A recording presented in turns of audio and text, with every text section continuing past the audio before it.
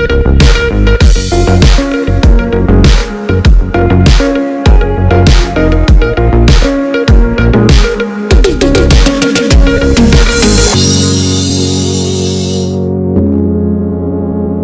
sejahtera, berita hari ini dipetik dari Malaysia kini.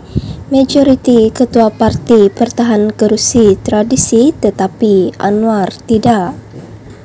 Penamaan calon PRU 15 menyaksikan majoriti pemimpin utama parti politik tanah air bertanding mempertahankan kerusi tradisi masing-masing meskipun berdepan persaingan sengit dengan lebih tiga penjuru.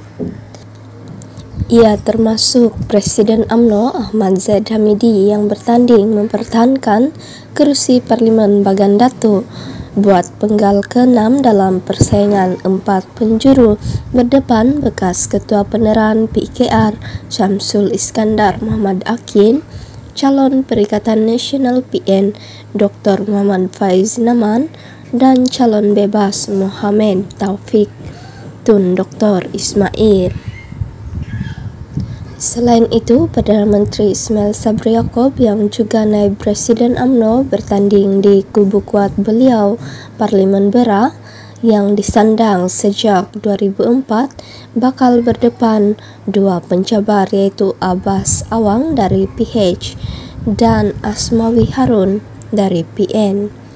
Turut mengambil langkah sama adalah pengerusi PN Muhyiddin Yassin yang bertanding mempertahankan Parlimen Pago yang disandang selama enam penggal dalam pertembungan tiga penjuru.